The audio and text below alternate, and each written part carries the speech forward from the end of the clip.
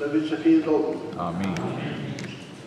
Mulțumim Domnului că am sosit la Dej și că frații ne-au primit bine.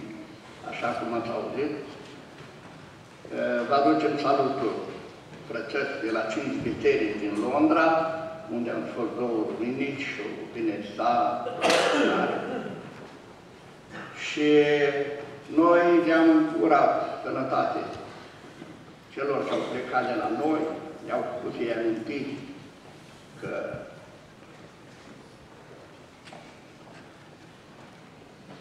unde m-au cunoscut, unde eu nu știam, de pe la Turda, de pe la anumite zile de bucurii. Și fratele Cornel a zis că ce pe mine fratele Sandu m-a cununat.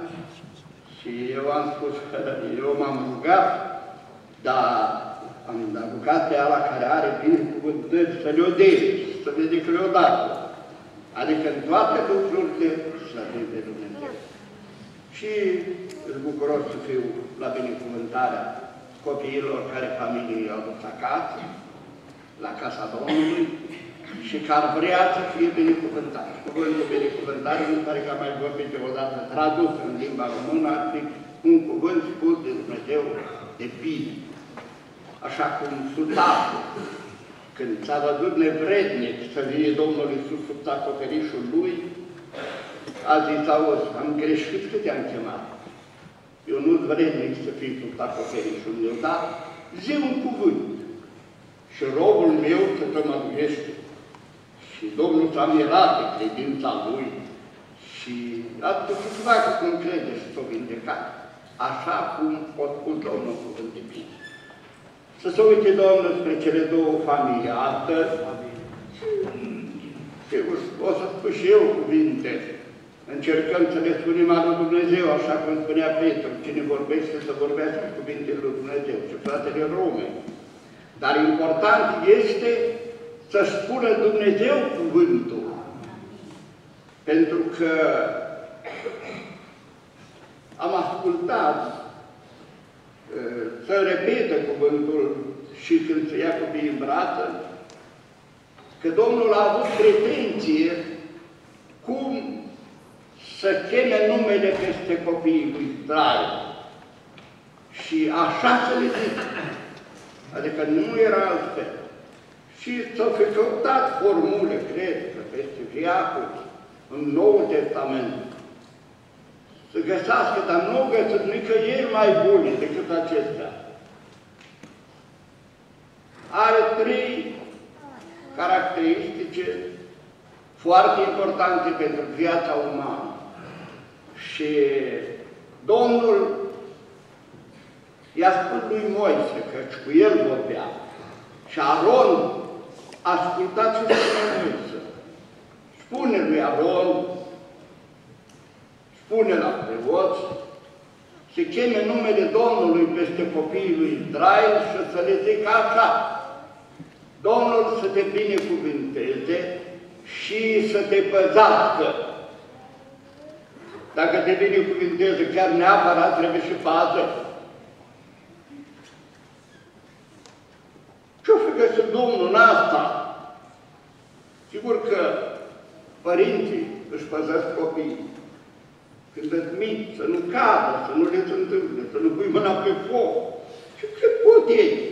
Dar acolo unde părinții nu ajung cu grija asta, cu baza asta, e neapărat să îi păzească Dumnezeu. Și trebuie să fim de acord. Sigur, când s-a scris psalmul 127, s-a scris că degeaba păzește cineva o cetate, că dacă nu o păzește Dumnezeu. Deci paza lui Dumnezeu era așa de importantă în viața oamenilor, îl vedem pe David în Psalmul 16, așa și începe rugăciunea. Păzește-mă, Dumnezeule, căci în Tine mă încred. Eu zic Domnului, ce frumos e să învățăm, să zicem din când în când Domnului. tine mă încred. Tu ești Domnul meu. Tu ești singura mea fericire. Sfinte care sunt în țară, sunt toată plăcerea mea. Adevărat că lumea aleargă după Dumnezeu străin, dar eu nu pun numele lor pe buze. Deci era un motiv să fie sigur omului Dumnezeu că este păzit. Și mă rog Domnului să-i păzească pe părinți și pe copii și să-i binecuvânteze. Că așa s-a citit și așa se mai citește și așa ne rugăm. Ba, o numim că e zi de binecuvântare la copii. Nu-i greșit să binecuvânteze Domnul și pe cei mai mari, care n-au înțeles până astăzi să stea sub baza lui Dumnezeu și totuși un pic spre firea pământească, așa cum se predica. Și se trezesc acum că nu se pot bucura de baza lui Dumnezeu. Se trezesc acum că n-au liniște, n-au bucurie. La un telefon cineva din nou apelat. M-am lăsat de 12 ani de fumat și nici nu-mi place să miros fum. Și nu mă pot lăsa de vorbire de rău. Și apelează să facem o rugăciune ca pentru o boală. Ca pentru o boală. Și mă gândesc cât e de periculos să aduci copiii la binecuvântare și în familie și să vorbească de rău. Să ne păzească Dumnezeu de asta. Să ne rugăm și pentru asta să ne păzească. Nu știu, că nu scrie Biblia cine au fost părinții la Cluj legalul Naman. Nu știu cum i-o chemat, nu știu cine a fost, că era prizoner. Dar deducem din ce știa ea despre prorocul Domnului, numai lucruri frumoase. Dacă părinții ar fi vorbit rău de prorocul Domnului, ar fi vorbit rău de Aron sau de cei care cereau binecuvântarea pe vremea aceea. Îi exact ce spunea Apostolul Iacov, fiți împlinitori a Cuvântului Lui Dumnezeu, nu fiți ascultători uituci, înșelându-vă singur. Și mă gândesc, ce înșelăciune mare! Să duci copilul la binecuvântare la un prezbiter, la un diacon, la un păstor și în casă să-l vorbești de rău. Care-i curaj? Care? Nu e o înșelăciune. Păi, ori e rău, ori e bun. Ori că dintre oameni și că nu-i chiar de săvârșit. Asta ne rugăm Domnului pentru el. E atât de important să păstrăm binecuvântarea în familie și să zicem și noi cu toții, păzăște-ne, Doamne, să vorbim de rău.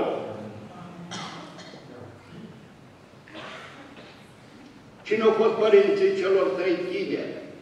Sau patru cu Daniel? Au ținut atâta la legea Domnului, încât o răspuns, chiar dacă nu ne scapă Dumnezeu. Noi știm că poate, dar dacă nu ne scapă, la idol nu ne închinăm. Și atunci, binecuvântarea Domnului rămâne. De aceea au zis, pune copiilor lui Israel așa să spună la copii. Domnul să te binecuvânteze și să te păzească.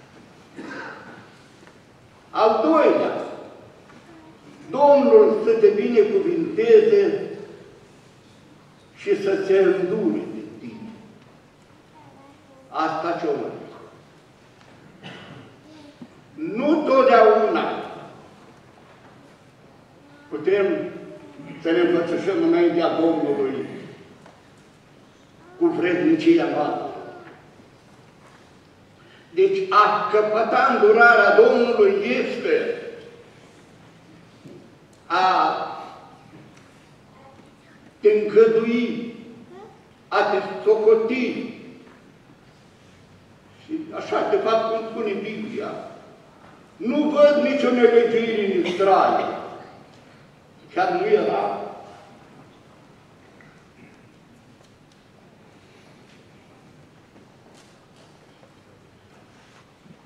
El, Psalmul 103, nu ne face după păcatele noastre, nu ne pedepsește după fără de legile noastre. Cum se îndură un tată de copiii lui, era vorba de îndurare, să îndură Domnul de cei ce îl iubesc pe El.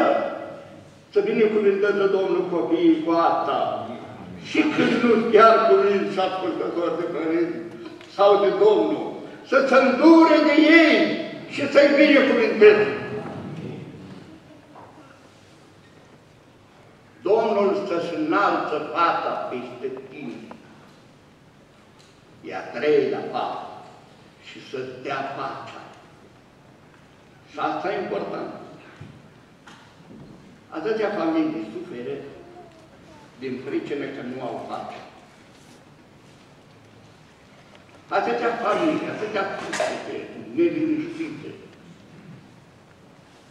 Sigur, sunt ființe care plâng mereu, pun la telefon și așa să nu Nu se poate bucura de bucuria mântuirii. N-are pace sufletească. N-are pace familiară. Nu e păcat soarta. Și ăsta e păcatul de care prorocea Pavel, că în zilele de urmă oamenii vor fi nemulțumitori cu toate, nemulțumitori cu totul, nemulțumitori cu toția, nemulțumiți din cauza copiilor. Ori Domnul Iisus așa să le spuneți la copiii lui Israel, nu cu alte cuvinte. Domnul să-și înalță fața, când fața lui Dumnezeu strălucește într-o casă, într-o familie, înlătură firea pământească, așa cum a fost predicat, înlătură egoismul, cum m-a întrebat cineva în viață, de ce sunt atâtea neliniște și în familie? De ce sunt atâtea nemulțumiri și în casă, și în biserici, și în țări? Păi nu scrie Biblia că fi așa. Dar întâmplarea este pentru că vina este eu și mine. Adică acum, domnul tată. Păi nu că și tu ai mine și eu. Nemulțumit că nu-i cum vreau eu. Nemulțumit că nu-i cum zic eu. Și asta, Solomon merge până acolo și spune, face o comparație între două case bogate și una săracă. Una bogată și una săracă. Zice, mai bine în casa aceea, unde un prânz cu verdețuri, fără cărnuri, fără mai sărăcătos, dar cu pace, decât o casă plină de belșug plină de cărmuri. Ceau. Cred că Apostolul Pavel în Coloseni, în capitolul 3, în versetul 15, spunea tot călăută de același Duh și pacea lui Hristos când ați primit mântuirea, n-ați primit și pacea lui Hristos? Când primești copiii binecuvântarea, nu trebuie să ziceți să primească și pacea lui Hristos? Ce mare diferență este între pacea care o dă lumea, spunea Domnul Iisus. Eu vă dau pacea mea, nu cum o dă lumea. Lumea ți-o dă, ți-o ia, să ceartă. Eu o dau să nu ți ia de la voi niciodată. niciodată? Da, niciodată.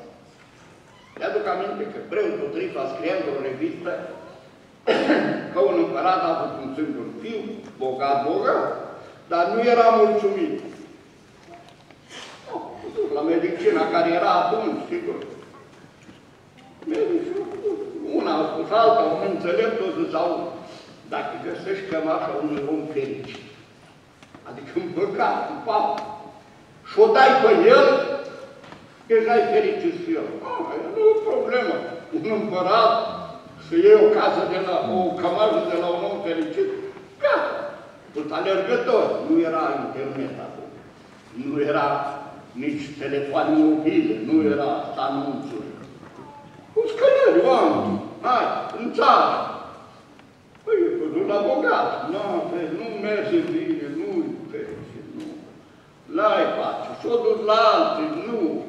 La săraci, mulțumit că săraci. Și se întorceau înapoi alergătorii, fără cămașă. Și unii l-a trecut, am încă mai băgat în casă, în casă, în sate. O trecut pe la un capăt de sat, sau aude o rugăciune.